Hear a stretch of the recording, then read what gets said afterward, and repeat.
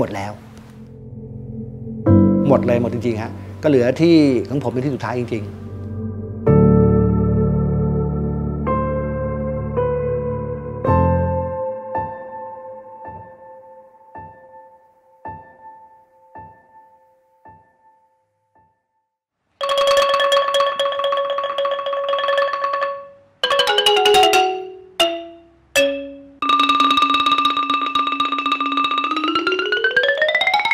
คือถ้าย้อนตั้งแต่บรรพบุรุษผมอะสมัยปู่ทวดเขาจะย้ายมาจากบางบางปะอิน คือเป็นคนบางปะอินอยุธยา ก็มาปากหลักอยู่ที่วัดบวรนิเวศตอกตอกบวรรังสี ตั้งตัวเป็นสำนักพิพาทเลยจากสมัยรัชกาลที่ 5 ที่4ที่5พอช่วงปู่ผมเสียชีวิต ตอนนั้นคุณพ่อผมอยู่ประมาณประมาณประมาณ 10 ขวบ คุณพ่อผมก็ย้ายตัวเองไปอยู่เป็นลูกศิษย์ของหลวงปู่ดิษฐ์ไพเราะเหมือนกัน ซึ่งไปอยู่หลวงปู่ดิษฐ์ไพเราะปุ๊บเนี่ยก็อยู่ได้ไม่นาน คุณลวงปู่ดิษฐ์ก็เสียชีวิตพศ2514ก็เลยมาเริ่มต้นกันใหม่ สิ่งที่ยังอยู่เหมือนเดิมก็คือสิ่งเหล่านี้ฮะพอปี2536ท่านก็เสียชีวิต ผมก็สืบต่อท่านมา สรุปเลยคือที่มันยุคเดียวกับผมมาเนี่ยที่ผมเห็นแล้วก็ยุคปู่ผมหมดแล้ว หมดเลยหมดจริงๆฮะก็เหลือที่ของผมเป็นที่สุดท้ายจริง ๆ ผมว่ามันยากที่มานั่งเลี้ยงดูเด็ก 10 คน 20 คนอะให้กินดูดับนอนด้วยกันอย่างผมเนี่ยผมเชื่อว่าไม่มีอะยิ่งยุคเนี้ยเศรษฐกิจอย่างนี้ด้วย ผมเชื่อว่าทุกคนเลือกที่เอาตัวรอดมากกว่า แต่สำหรับผม ไม่ได้คิดเอาตัวรอด คิดให้สำนักมันรอด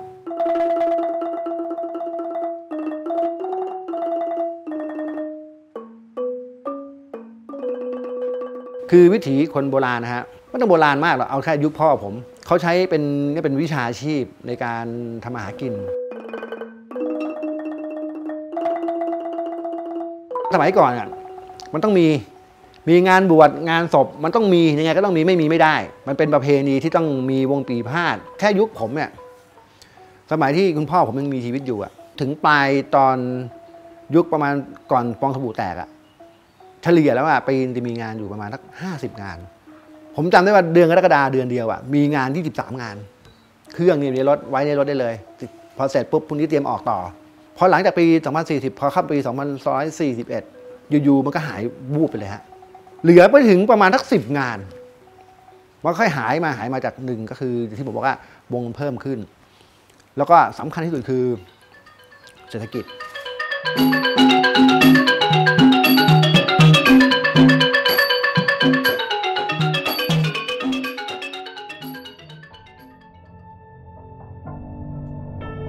สำนักปีพาทก็คือวงปีพาทอะไรที่ตีอะที่เป็นตีแล้เป็นเสียงอะคือปีพาททั้งหมด เป็นสิ่งที่ประกอบด้วย 1. ที่เป็นตัวสำนักหรือสถาปัตย์สองที่เป็นคนปกครองก็คือเจ้าสำนัก 3. ที่ขาดไม่ได้ก็คือ ความเป็นนักเรียน ความเป็นเด็กที่อยู่ในสำนักนั้นๆคือ 3 สิ่งเนี่ยถ้ามันขาดจริงในสิ่งหนึ่งไปแล้วอะมันก็จะไม่ใช่สำนักปีพาทถ้ามี 3 อย่างนี้แล้วอะอย่างที่ 4 จะตามมาก็คือวิถีชีวิต วิถีการเรียนรู้การอยู่รวมกัน การใช้ชีวิตที่ถูกอบรม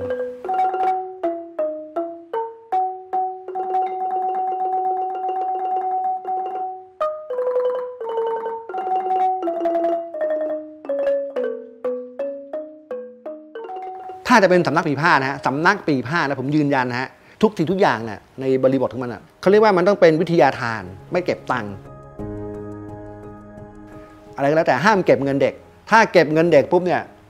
มันจะเป็นโรงเรียนดนตรีไอเราเป็นสำนักปีผ้าเราเป็นบ้านอยู่แล้วอะมันก็มีแค่น้ำค่าไฟค่ากินอยู่ ทีนี้ถามมาจากไหน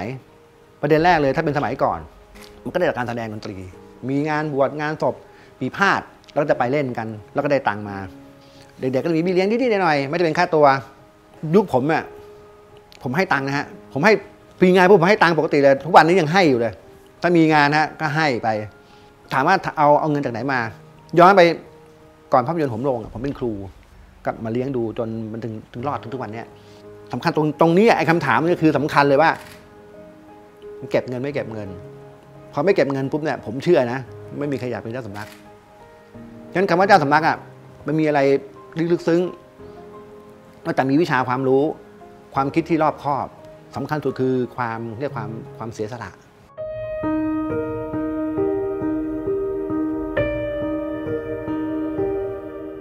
จริงๆเด็กส่วนใหญ่ที่เนี่ยเป็นรุ่นสู่รุ่นอย่างพ่อเขามาลูกเขา ถ้าเขาอยากจะเรียนจริง เขาต้องต้องมากินมานอนดูได้ วิถีชีวิตการอยู่ด้วยกันอะมันสำคัญตรงไหน คือเขาได้ฝึกซ้อมด้วยกันพอฝึกซ้อมด้วยกันปุ๊บเนี่ย เด็กด้วยกันวัยเดียวกัน มันจะเริ่มเติบโตไปด้วยกัน ซึ่งผมก็เป็นไอ้ความที่มันนอนด้วยกันแล้วตื่นมามันเจอหน้ากันอะมันจะเกิดความผูกพันทางพฤติกรรม พฤติกรรมคืออะไร มันมากกว่าเพื่อนเขาจะรู้จักความเป็นรุ่นพี่รุ่นน้องเสร็จแล้วปุ๊บเขาก็ใช้ชีวิตข้างนอกอย่างเด็กตามสำนักพิพาททุกทุกที่ฮะเขาจะไม่ไม่ไม่ลามปามผู้ใหญ่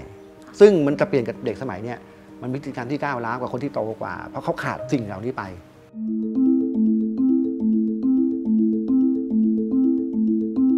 วิถีชีวิตความเป็นอยู่ ขนบธรรมเนียมปฏิบัติ กินอยู่หลับนอน แม้กระทั่งหนึ่งปีต้องไหว้ครูหนึ่งครั้งวิธีพิธีใหญ่หนึ่งครั้ง อย่างเงี้ยมันต้องปฏิบัติให้เหมือนเดิม พอสิ้นปีก็จะมีการไหว้ครู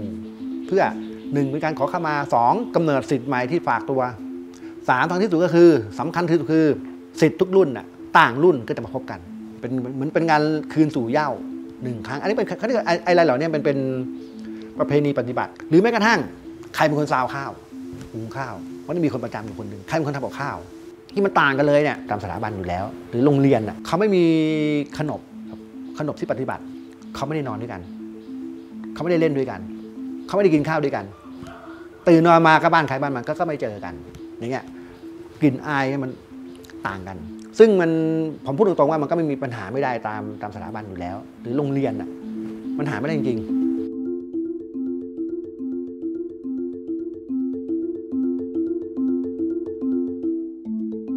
ริงๆผมผมรู้ว่ามันต้องหมด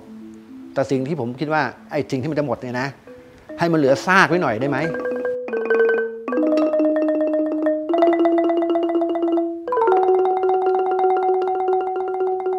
ถามว่าห่วง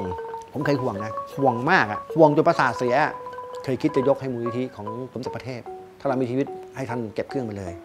ก็คิดนู่นคิดนี่จนกระทั่งไปเจอคนคนหนึ่ง เขาบอกผมว่าตระกูลอะดนตรีไทยอะ หรือแม้กระทั่งศิลปะด้านอื่นๆอะโมซาร์ทบีโธเฟนบอกตระกูลนั้นน่ะถึงจุดจุดยอดเมื่อไหร่แล้ว มันต้องโดนสาบให้หายไป ผมนั่งคิดดูไล่ดู ผมว่ามันยากอะจะหานักดนตรีไทยคนไหนมีชื่อเสียงขนาดผมอะผมว่าผมสุดแล้วล่ะ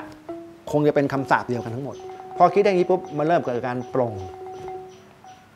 ปลงได้ปุ๊บก็เลยคิดว่า เฮ้ย